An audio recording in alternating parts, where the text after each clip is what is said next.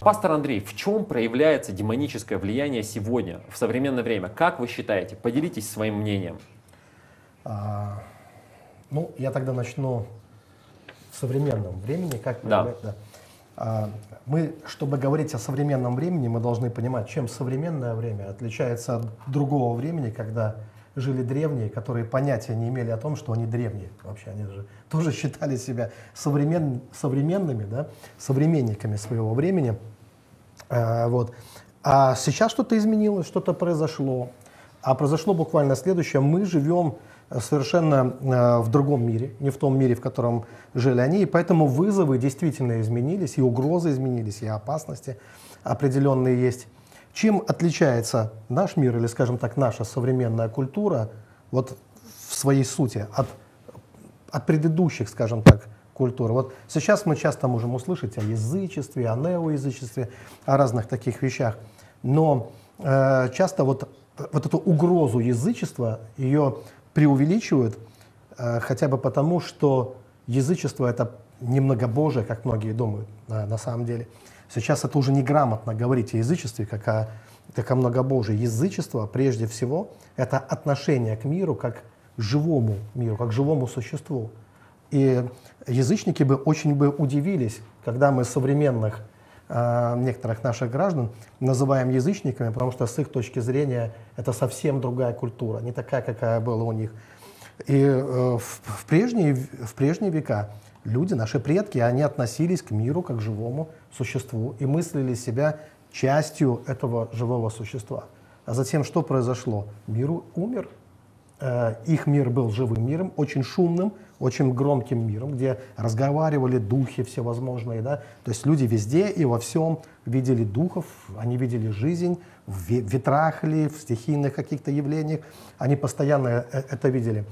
Но сейчас, когда доминирует концепция, что, э, что там духи даже души нету, а душа буквально переводится как жизнь, слово душа, это жизнь, нет души, нет жизни – да, и тогда все, что чувствует человек, э, любовь, вера, посвящение, любые состояния, это воспринимается как набор химических реакций. То есть практически получается так, что э, мир, в котором мы сейчас живем, это мертвый мир с точки зрения э, людей прошлого, я думаю, будущего, которые будут смотреть в наш мир. То есть мы переместились э, в мертвый мир, и все болезни, неважно, в поп-культуре, там, э, в, в церковной среде, все болезни, они именно связаны со смертью, именно вот со смертью мира. Я думаю, что в тот момент, когда Ницше сказал, многие слышали, что Бог умер, на самом деле умер не Бог, умер, э, умер мир э, в этот момент. Но, может быть, чуть позже я коснусь э, этого момента, но основное различие, то, с чего я хотел начать, основное различие современной культуры – Соответственно, а культура – это все, что производится руками человека. И всякая культура, христианская, нехристианская, опирается на какие-то ценности. То есть есть ценности христианской культуры, есть ценности светской, светского мира, что-то является ценным там. Да? Вот. Но основная, то есть основная проблема современной культуры – это мертвость, которая встречается везде и во всем.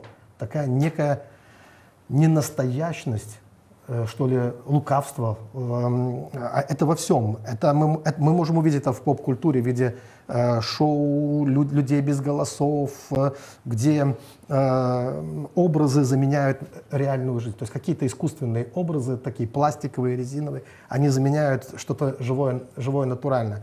И вот это все, вот именно ненастоящность жизни, которую люди ощущают глубоко, вот именно это и является основной проблемой и болью современной культуры, что она пытается в себе э, преодолеть. То есть отсутствие жизни и излишнюю искусственность, соответственно, такую некую могильный холод и искусственность жизни, к которой пришли люди. То есть изменилось мировоззрение, изменилось, э, изменились представления людей, и э, тем самым изменился тот мир, в котором Э, а как это произошло? Вот в какой момент? То есть вы сказали о том, что раньше мир был более духовным с точки зрения древних людей. Правильно я вас понимаю? Он То был более живым. Более да. живым. И в какой-то да. момент он умер. Как это произошло? Как вы это понимаете? А, я думаю, что это произошло по определенным причинам. Потому что мир, который был живым, в нем все-таки присутствовала некая ярость. Здесь я ссылаюсь на одного из мистиков, э, христианских мистиков, Якоба Баме. Э, вот Бердяев называл его самым великим мистиком всех времен и народов. И вот он говорит, что в этом мире, в котором мы живем, есть добро, есть добро, оно присутствует, мы это видим. Да и Христос говорил, что даже мы, будучи злы, можем делать угу. какие-то э, добрые дела. Но в то же самое время присутствует некая ярость, то, что он называл яростью. Поэтому, несмотря на то, что древний мир был живым миром, но все-таки это был магический и яростный мир, угу. где было колоссальное количество вызовов и угроз. Если мы посмотрим на костюм человека там, тысячелетней давности, на, если мы бы видели бы наших предков, во что они одеты, в 12 например, веке, угу. мы бы увидели, что от макушки головы до ног он весь в защитных амулетах. Угу. Он, э, э, рисунки на его одежде – это не просто украшения, это Э, это определенные символы и знаки, mm-hmm. которые должны защитить его от духов. Э, браслеты, кольца, все, что на нем, бубенчики, которыми э, звенела каждая женщина, как колокольня, передвигаясь. Да? Все это, чтобы отпугивать духов. То есть люди видели угрозу, которая шла именно с того мира, то есть с потустороннего мира, с мира духов, с ними нужно было договариваться, нужно было как-то закармливать их, ублажать и так далее.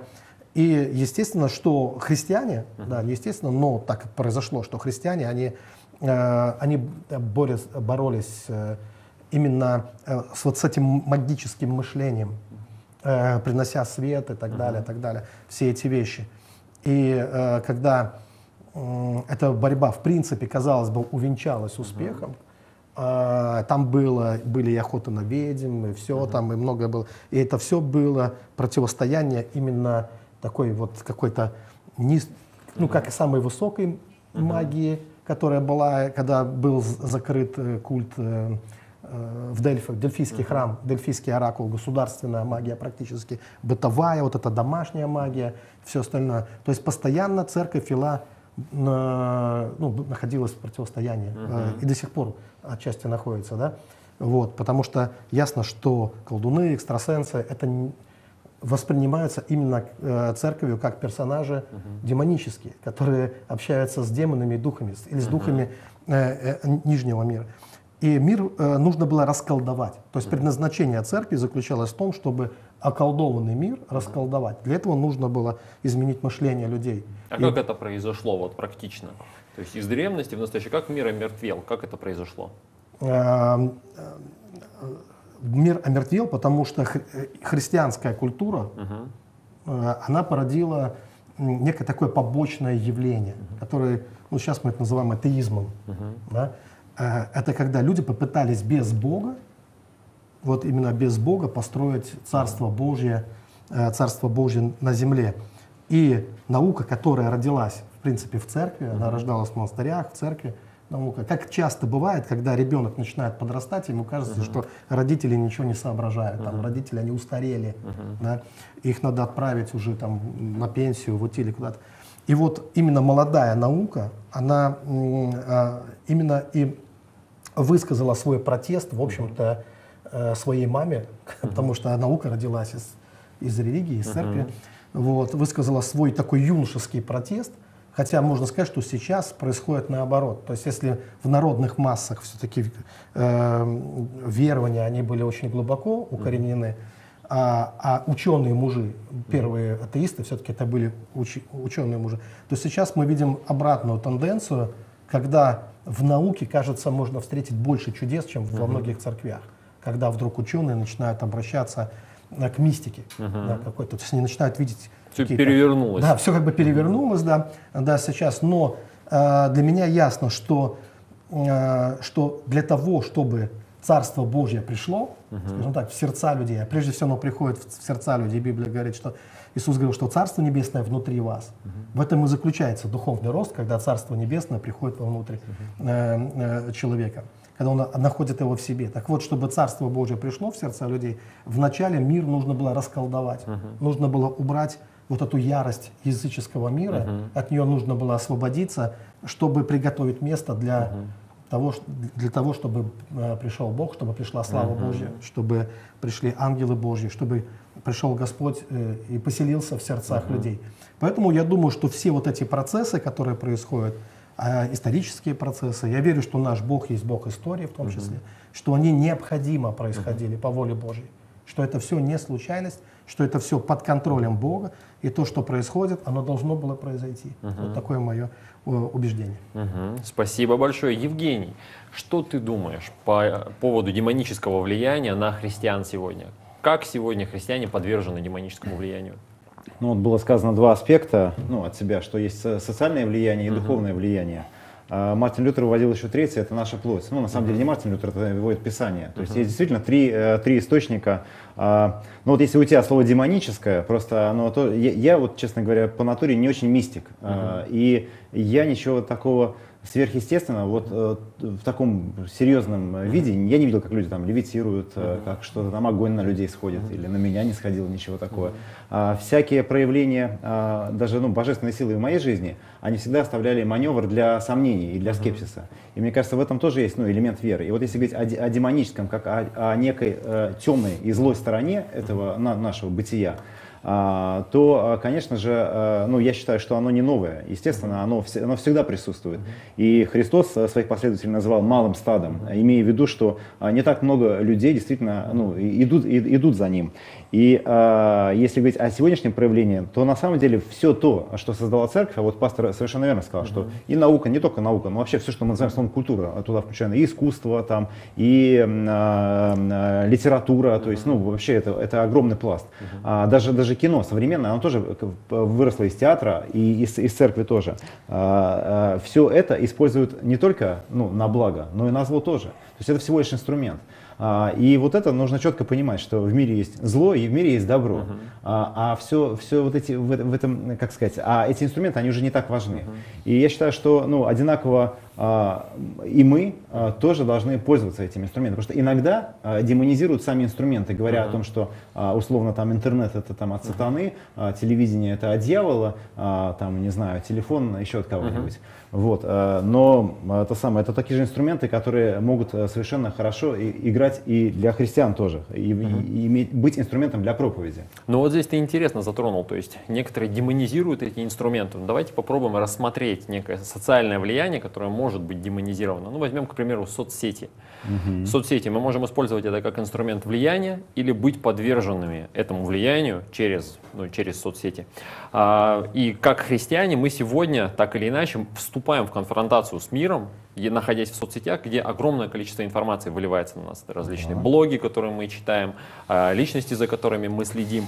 И а, как вы в церкви сегодня используете соцсети, современные инструменты для того, чтобы влиять на этот мир и не быть подверженными влиянию извне? Ну, я считаю, что соцсети и все остальное это э, всего лишь понятный язык для людей. Э, условно, э, ну, там, не знаю, Мартин Лютер, он печатал памфлеты, э, там, не знаю, до этого переводили там писание на э, всеупотребимую латынь, э, вульгата так называемая. Э, Сегодня это совершенно другой язык. И если мы будем продолжать ну, э, говорить тем же языком, он просто будет, не будет понятен. Поэтому, э, если мы э, хотим что-то сказать, то ну, нужно сказать понятным языком. Поэтому, э, конечно же, нужно обязательно использовать. Мы, мы используем, мы вообще не брезгуем. Я считаю, что если там через дорогу от нас есть столовые, у которых у которой есть Инстаграм, то почему у, у церкви не может быть Инстаграма? Наоборот, это очень, хорош, э, очень хорошее а, срез- э, ну, как бы средство донесения свои- наших идей. Потому что ведь а, человек, допустим, он а, захочет и услышать и другую сторону, он захочет ну, что-то узнать. Где он будет искать?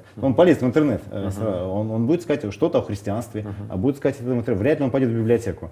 Вот, поэтому в интернете обязательно должно быть что-то про христианство. Ну, как минимум, вот наша передача выложена, или, ну и так далее. Вот, поэтому Но самих инструментов ничего плохого не, нет. да. не все так считают. То есть некоторые считают, что их соцсети это их личное право. К примеру, э, я могу быть верующим человеком, но в соцсетях я не обязан, не должен э, выражать свою веру. Как считаешь ты, нужно ли выражать ее в соцсетях, или это все-таки личное право Я каждого считаю, что человека? никто ничего, ничего, конечно, не обязан. А, если твои, ну, как бы, знаете, сегодня модно говорить, что Бог внутри меня, вот такое выражение, но оно на самом деле не, ну, а- это правда, это, ну, в Писании вот как бы было сказано, это совершеннейшая правда. А, но иногда оно используется совершенно, ну, наоборот, типа Бог внутри меня, поэтому вообще отстаньте от меня. У меня Бог он очень маленький, он там где-то глубоко внутри меня, он на очень короткой цепи там сидит и не вякает, в общем-то.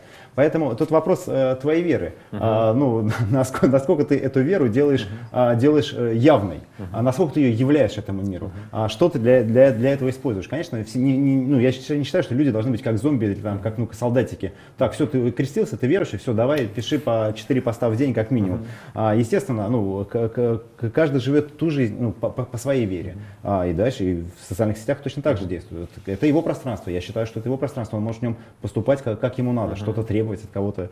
А, это, это, ну, это нарушение человеческой свободы.